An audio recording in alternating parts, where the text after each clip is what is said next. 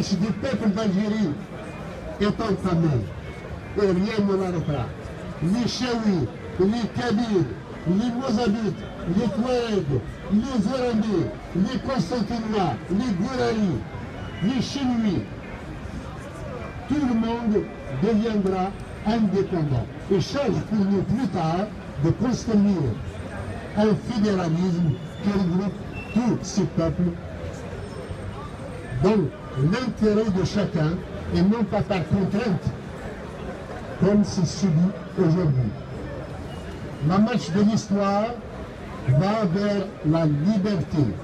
Et aucun régime, que ce soit le régime algérien ou le régime tunisien ou autre des voisins, n'existera plus tant qu'il n'y aura pas le respect des identités et des peuples qui dit. L'Algérie n'est pas une nation. L'Algérie est un pays monstre construit par la colonisation. Il faut le détruire pour rétablir la démocratie, la liberté et le respect des droits de l'homme. L'Algérie n'est pas.